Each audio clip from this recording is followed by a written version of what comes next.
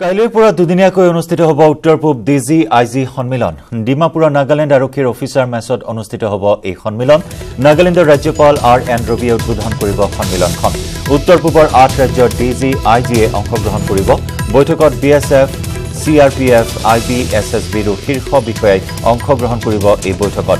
উত্তৰ পূবৰ সন্ত্ৰাসবাদ উগ্ৰপন্থীৰ কাৰ্যকলাপ ৰোধ সন্দৰ্ভত হ'ব চৰ্চা।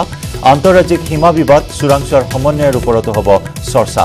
ভাৰত চীন ভাৰত বাংলা ভাৰত ভূটানৰ আন্তঃৰাষ্ট্ৰীয় সীমা সুৰক্ষাক লৈও বিশেষভাৱে আলোচনা হ'ব এই বৈঠকত।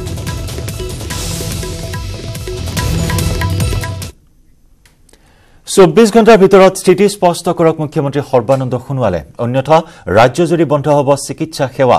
প্ৰয়াত চিকিৎসক দেৱেন দত্তৰ বাসগৃহৰ পৰা মুখ্যমন্ত্ৰী সৰ্বানন্দ সোণোৱাললৈ এই সকিয়নি ইণ্ডিয়ান মেডিকেল এছ'চিয়েশ্যনৰ ৰাষ্ট্ৰীয় সভাপতি ডাঃ শান্তনু সেনৰ।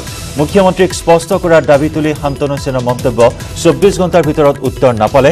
অসমত অনিৰ্দিষ্টকাললৈ ধৰ্মঘট কৰিব চিকিৎসকে। বন্ধ ৰখা হ'ব জৰুৰীকালীন চিকিৎসা সেৱাও। ইফালে প্ৰধানমন্ত্ৰী কেন্দ্ৰীয় গৃহমন্ত্ৰী তথা কেন্দ্ৰীয় স্বাস্থ্য মন্ত্ৰীলৈও এই বৰ্বৰ হত্যাকাণ্ডৰ ন্যায় প্ৰদানৰ দাবীত পত্ৰ প্ৰেৰণ কৰিব আই এম এ।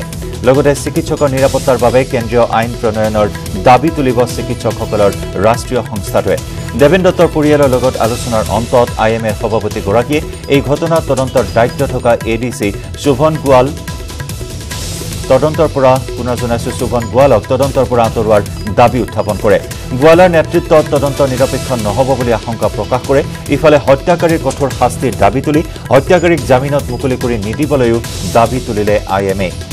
আনহাতে চাহ বাগিচাত চিকিৎসকৰ সুৰক্ষা নিশ্চিত নহ'লে চিকিৎসকসকলে ভৱিষ্যতে চাহ বাগিচাত চিকিৎসা প্ৰদান নকৰাৰ হুংকাৰ দিয়ে ইণ্ডিয়ান মেডিকেল এছ'চিয়েশ্যনৰ সভাপতিগৰাকীয়ে As you know that 31st of August, Dr. Deven Datto, a 73 years old doctor who dedicated his entire service serving the tea garden laborers, got brutally murdered by those laborers in that particular tea estate.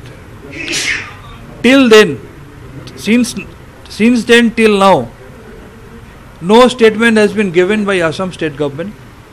We came to know that few persons got arrested but we have got some apprehension that most of the cases after few days these arrested people are released on bail our demand number 1 these murderers must not be released on bail number 2 as there is an apprehension that there is one additional district collector called mr gwala there is an apprehension that he might manipulate the case in their favor in the favor of the murderers this apprehension is from the family members as well so we demand the case should be taken away from the hand of Mr. ADC, ADC Mr. Goal.